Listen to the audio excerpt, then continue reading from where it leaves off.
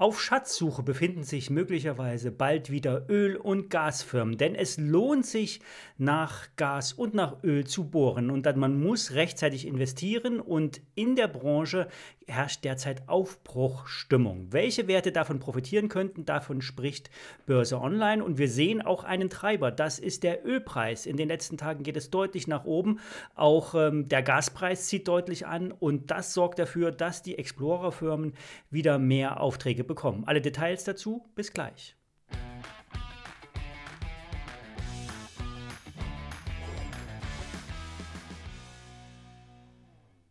Ja, hallo und herzlich willkommen zum Tipp-Checker. Wir schauen uns die Auswirkungen des Ölpreises an. Goldman Sachs sagt, es stehen Preise von über 100 Dollar in den nächsten Zeiten ins Haus und äh, das liegt auch an dem Konflikt mit dem Iran. Äh, Goldman Sachs sagt, dass allein, wenn der Iran in den Konflikt mit den USA, also in den Konflikt mit Israel und dann auch irgendwo mit den USA eingreift, dann könnte möglicherweise kein iranisches Öl mehr auf den Gesamtmarkt kommen und das würde das Angebot reduzieren und das allein würde schon einen Ölpreis von 100 äh, Dollar ausmachen. Nicht eingepreist ist eine mögliche ja, Schließung oder äh, Blockade der Straße von Hormuz Fuß.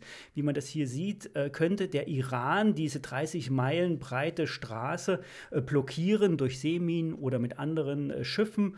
Und dann käme noch deutlich weniger Öl und Gas auf die Weltmärkte. Ähm, es geht ja grundsätzlich beim Öl und auch beim Gas immer um Angebot und Nachfrage. Der Preis kann nur durch Angebotsverknappung oder durch einen Nachfrageüberhang äh, steigen. Und ähm, ja, an, am Ende ist es an der Börse immer ähm, nicht zielführend, über das Warum zu sprechen. Warum steigen Preise? Warum fällt etwas? Sondern man fragt lieber, wichtiger ist nämlich, was steigt und was fällt. Und äh, da sehen wir eben, ja, es steigt das Öl und ähm, das ist ein wichtiger Indikator und es steigt auch der Gaspreis. Wir haben hier den Henry Hub Future. Wir sehen zwar, dass wir von den Krisenzeiten, Ukraine-Krieg hier, deutlich höhere Notierungen haben, aber wir haben uns vom Tief im äh, Frühjahr diesen Jahres, Mai, Juni, kommen wir noch von 2 äh, auf jetzt äh, 3,21. Das ist der Henry Hub Future, ähm, der steigt wieder deutlich an. Also damit ähm, deutliche Steigerung auch ähm, auf der Gasrechnung schlussendlich. Und ähm, hier ist auch schwer darauf zu äh, traden übrigens. Äh, wenn man auf den Henry Hub Future setzen will, muss man immer ein rollierendes Produkt einsetzen. Also ist nicht ganz so einfach. Was aber einfacher ist, man sucht sich Aktien raus, die ähm, hier von dieser Entwicklung profitieren könnten. Und äh, Börse Online hat das gemacht. Äh, in einem aktuellen äh, Paper, also in der aktuellen Börse Online, wird über die Schatzsucher gesprochen, also die, über die Öldienstleister, die für die großen Explorer hier arbeiten. Und es gibt aber auch äh, News von äh, Exxon, Exxon ähm, der, also den großen Ölproduzenten, Ölförderer, der übernimmt jetzt den zweiten, die Pioneer-Gruppe für 60 Milliarden US-Dollar. Und das geht nur, wenn ähm, ja, der Ölpreis hoch ist, wenn es sich lohnt, äh, Öl und Gas zu fördern und dass man Geld damit verdient. Und dann übernimmt man auch wieder. Und Börse Online ist der Meinung, dass schon viel bei den konventionellen ähm, Explorern eingepreist ist. Und ähm, hier ähm, wird auch deutlich, dass Öl und Gas auch noch längere Zeit gebraucht werden, auch wenn sich die Energiewende natürlich immer mehr einschleicht. Trotzdem wird es langfristig perspektivisch immer noch viel Öl äh, benötigt und ähm, die Fördermengen sind möglicherweise schon am Peak, zumindest beim Fracking geht man davon aus, dass man hier schon am Peak ist, wenn man nicht weiter investiert. Und wenn man eben weiter investiert, dann könnte man auf äh, Branchen setzen, wie zum Beispiel hier die Schatzsuche, die für die großen Ölfirmen nach dem Öl und nach Gas äh, bohren. Und ähm, ja, ein Dienstleister ist äh, Transocean. Ich mache das mal im Vollbild hier. Das ist eine vorgestellte Aktie, die wird ähm, nur an der NYSE gehandelt oder äh, mit nennenswerten Umsätzen an der NYSE gehandelt. Und ähm, hier werden vor allen Dingen ähm, ja, äh, Schiffe und Equipment äh, ge gebaut oder betrieben. Und ähm, interessante, äh, interessanter Fakt ist hier, dass im Endeffekt jetzt schon Material bestellt wird, was erst in zwei Jahren benötigt wird. Hier hat das Unternehmen ähm, einen Auftrag, ähm, der erst in zwei Jahren im Golf von Mexiko umgesetzt werden soll, äh, schon jetzt bekommen. Und ähm, Transocean ist einer der führenden Anbieter von Offshore-Bohrdienstleistungen für die Öl- und Gasindustrie. Und hier werden, werden vor allen Dingen Tiefseeprojekte umgesetzt, also dort, wo die Bedingungen besonders schwierig sind, also wo es dann auch teuer ist zu bohren. Dementsprechend ähm, wird hier ähm, ja auch werden auch hohe Preise ähm, bekannt gegeben. Ähm, wie gesagt, es gab einen Auftrag jetzt äh, bis Ende 25, 2025 soll für fast eine halbe Milliarde ähm, ähm äh, Service geliefert werden oder wurde jetzt verbindlich gebucht und wird erst in zwei Jahren abgerechnet. Das zeigt nämlich die Verzögerung auch zwischen einer Auftragsbestätigung oder einem Vorauftrag und dann dem Abrufen. Und das zeigt auch, dass man jetzt, was man jetzt an, abarbeitet, hat man vielleicht vor zwei, drei Jahren verkauft und äh, die äh, Marge wird sich jetzt in den neuen Auftrag, Aufträgen perspektivisch erhöhen und das sollte auch hier bei der Transocean für bessere Aufträge sorgen. Die Aktie ist schon, ihr seht es vielleicht im kleinen Chart hier schon äh, deutlich nach oben gegangen. Äh, man geht davon aus, dass sich der Umsatz und das Betriebsergebnis in den Jahren, nächsten Jahren kontinuierlich verbessern wird und ähm, die Aktie ähm, hat sich zwar seit Januar äh, vervierfacht, ähm, aber ähm, im Blick auf die letzten fünf Jahre ist die Aktie noch fünf, 50 Prozent im Minus. Ähm, wenn wir uns nochmal vielleicht den Chart anschauen, ähm, dann haben wir es hier nochmal im langen Blick. Ich mache es mal auf Gesamtbild. Dann sehen wir jetzt, wo die Aktie herkommt. Ja, 50 Dollar und es ging knallhart nach unten auf den Centbereich unter 1 Dollar. Und aber jetzt seit ja, Oktober letzten Jahres geht es mit großen, großen Schritten hier nach oben. Und äh, die Aktie notiert aktuell bei, äh, an der NICE ist das hier ähm, bei 7,7 Dollar. Und äh, ja, Börse Online seht hier noch ein deutlicheres Potenzial in dieser Aktie und ähm, sagt Kursziel 13 Dollar. Stop-Loss sollte bei 5,90 ähm, Dollar gelegt werden, also hier ungefähr ähm, kurz unter dem letzten Tief 5,90 Dollar. Ansonsten Kursziel 13 Dollar und das ist noch gar nicht mal so hoch gesteckt, wenn man sich das hier mal anschaut. Das sind jetzt 13 Dollar. Also die Aktie kommt von viel, viel höheren Werten und ähm, hat dementsprechend auch dann das Potenzial. Wem das alles ein bisschen zu viel ist, so diese ganzen Einzelwerte, der kann auch ähm, sich einen ähm, ETF ins Portfolio legen. Es gibt einen Fun Egg Oil Services ETF. Ähm, da habe ich hier ähm, das Produkt mal rausgesucht auf Just ETF. Ähm, hier sieht man es, das ist ein gängiger ETF, der in Öl Explorer investiert, in Energiedienstleister und man hat da nicht das Einzelrisiko pro Wert, sondern man hat ein Gesamtportfolio, ein Gesamtthema und äh, man kann dann besser diversifizieren. Also hier eine Alternative zu einer ähm, Direktaktie hier bei OnVista, habe ich es nochmal rausgesucht, Transoceans, ähm, hier, ähm, wenn man sagen will, ich will nicht so viel Risiko eingehen, dann kann man das eher ähm, ein ähm, Einzelwert ähm, vorziehen und hier dann dementsprechend investieren. Andere Werte gibt es noch, weitere vier werden hier besprochen in der aktuellen Börse Online. Wer das genauer nachlesen will, kauft sich einfach die Börse Online oder macht ein E-Paper und kann sich das dann nochmal genauer anschauen. Wir haben ja die Möglichkeit, immer äh, vorab auch in die Börse Online und die anderen Produkte reinzuschauen und deswegen möchte ich euch einfach mal das Thema vorstellen. Ich hatte es auch schon bei Hotbets, dem Podcast, auch schon mal vorgestellt, zumindest die Scholler Blackman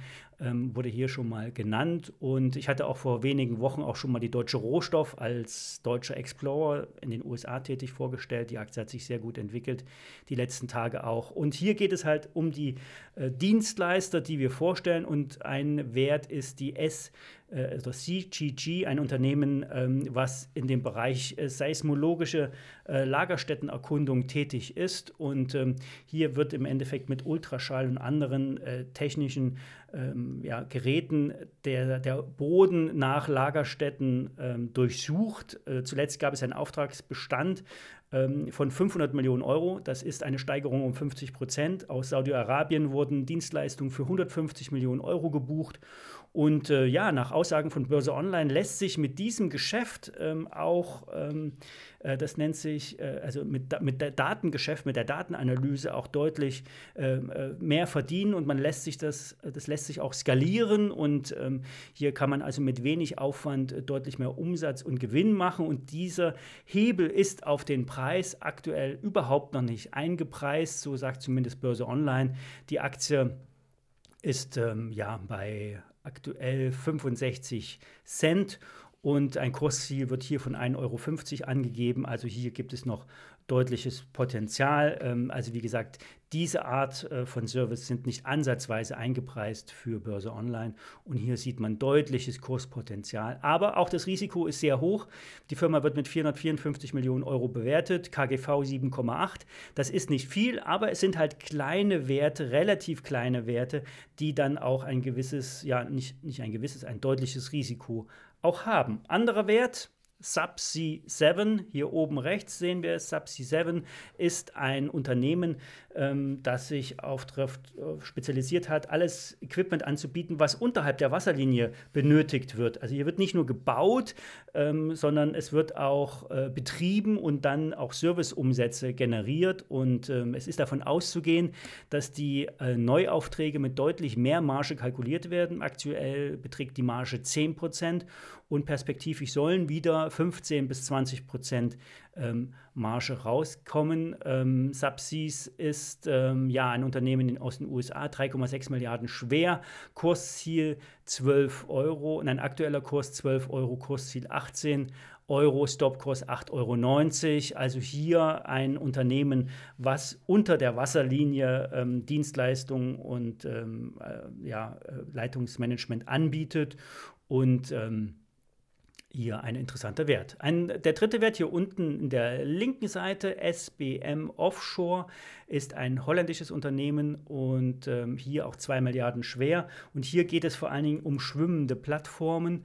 Da habe ich euch mal ein Bild rausgesucht. Das ist SBM Offshore. Hier geht es um Plattformen, um Öl zu umzuschlagen, Öl zu transportieren. Es werden schwimmende Plattformen angeboten und die können auch perspektivisch auch für den Gasbereich, für Flüssiggas eingesetzt werden. Denn es ist ja klar, das Flüssiggas muss antransportiert werden mit dem Schiff und muss dann umgewandelt werden von ähm, flüssigen im gasförmigen Zustand. Und ähm, die Leitungen müssen in diesen äh, Containern äh, gereinigt werden mit viel Chemie. Und das ist auch das Problem, dass viele an ihren Häfen in Rostock und ähm, auch in der Nordsee diese ähm, Plattform nicht haben wollen, weil dort mit viel Chemie, mit Chlor, glaube ich, ähm, gereinigt wird und das gelangt dann in Wasser, ins Wasser und niemand will solche Anlagen vor seiner Haustür haben. Und zumindest äh, könnten solche Plattformen, die weiter draußen liegen, könnten hier eine Option sein. Die Anlagen, die werden ähm, zum einen gebaut und dann verkauft oder eben im Eigenbestand gehalten und dann äh, vermietet. Ähm, Börse Online ist hier relativ optimistisch für den Wert. Ähm, es wurde bereits viel investiert ähm, und man rechnet damit, dass ab 2024, 2025 und 2027 größere Verkäufe von Plattformen auf den Markt kommen. Dann wird auch der Cashflow besser und dann könnte sich, ähm, könnten die Mittel auch über Sonderdividenden ausgeschüttet werden. Und äh, das ist jetzt nicht ansatzweise eingepreist, sagt Börse Online. Ich mache es mal ein bisschen größer. Hier unten dieser Chart sieht man das, das deutliche Minus. Ähm, ich schaue mal, ob ich die Aktie im Einzelnen noch mal im Chart habe. Ähm, Nee, das ist die Subsi, die habe ich jetzt so nicht mehr drin. Ähm, schauen wir uns hier also im Chart an. Also hier aktuell bei, aktuell bei 11,95 Euro, also knapp 12 Euro. Und Börse Online sagt, ähm, dass diese Mittel, die dann durch den Cashflow bald wieder äh, reinkommen, dann eben über eine mögliche Sonderdividende ausgeschüttet werden könnten. Und es ist davon auszugehen, dass auch diese Nachfrage nach Plattformen, dieser Offshore-Plattformen, ähm, weiter ähm, anziehen sollte und ähm, auch der, der Value, der innere Wert der Aktie würde wohl nicht ansatzweise das Vermögen der Firma abdecken, so sagt zumindest Börse Online und deswegen auch ein Kauf. Ähm, Kursziel 19 Euro, aktuell steht die Aktie bei 12 Euro. Ähm, eine Aktie, die ich schon mal angesprochen habe im Hotbeds ähm, Podcast, ist die äh, Firma Schöller Blackmann. Die ist eine österreichische Firma und die haben sich darauf spezialisiert, Bohrgestänge, Bohrequipment anzubieten. Es ist ein Spezialstahl. Äh, rund die Hälfte der Erlöse stammen aus der Ölindustrie. Und hier geht es im Schwerpunkt um Bohrtechnik. Es geht um Bohrstangen, Komponenten. Ähm, amagnetische Bohrstangenkomponenten werden hier eingesetzt, vor allen Dingen für die Richtbohrtechnologie. Dazu werden auch Motoren verkauft, es werden Bohrwerkzeuge verkauft. Und äh, man hat sich auch darauf spezialisiert, dass hier auch quer gebohrt wird, also nicht nur gerade runter, sondern auch um Ecken und äh, elliptischen Bahnen gebohrt werden kann. Und ähm, das wird hauptsächlich in die USA verkauft, das Bohrequipment. In diesem Jahr haben die Österreicher 600 Millionen Euro umgesetzt und die Marge ist mit 18 Prozent relativ hoch. Die Auftragseingänge, die sind stabil. Und äh, ja, man kann sagen, wenn der Ölpreis hoch bleibt, dann würden auch ähm, ja, mehr gebohrt werden und mehr ähm, investiert werden in, in bestehende Bohrlöcher oder äh, weitere äh, auf bestehende äh, Flächen wird dann gebohrt, äh, wenn man die Lizenz dann schon hat und man erschließt dann im Endeffekt die Ölfelder. Deswegen ist davon auszugehen, dass hier die Nachfrage, die Auftragseingänge für 2024 hoch bleiben und ein anhaltendes Wachstum ähm, gegeben wird. Nach Meinung von Börse Online ist die Scholler Blackman völlig unterbewertet und äh, müsste eigentlich viel höher stehen. Ähm, wir sehen hier ein Kursziel ähm, von 75 Euro, aber auch dreistellige Kurse wären hier eigentlich prognostiziert. Börsenwert 800 Millionen Euro, aktueller Kurs 52,40. Wir schauen auch mal hier nochmal in den Chart rein. Äh, hier haben wir die Scholler Blackman, äh, die ähm, Scholler Blackman. Ähm, hier hat sich natürlich auch der Kurs schon gut entwickelt. Ähm, man könnte hier sich so einen Aufwärtstrend vorstellen. Ähm, aber dreistellige Notierungen sind für Börse Online wirklich ähm, eine Option. 50 ist so die letzte Haltemarke, so eine Unterstützungsmarke im Chart. Ähm, auch wenn hier dieser Aufwärtstrend halten würde, würde die bei 50 Euro gut unterstützt sein.